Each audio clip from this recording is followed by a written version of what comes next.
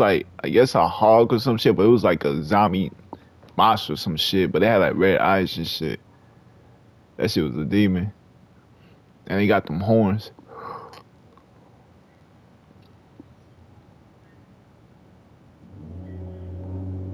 Shit, you made this shit, bro?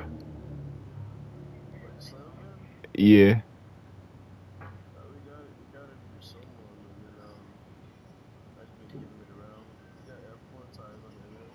Yeah, I see. This shit look nice. I see that motherfucker.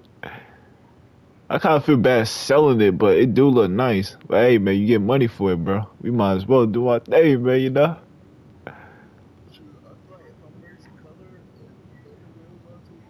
Mhm. Damn, bro, it's raining.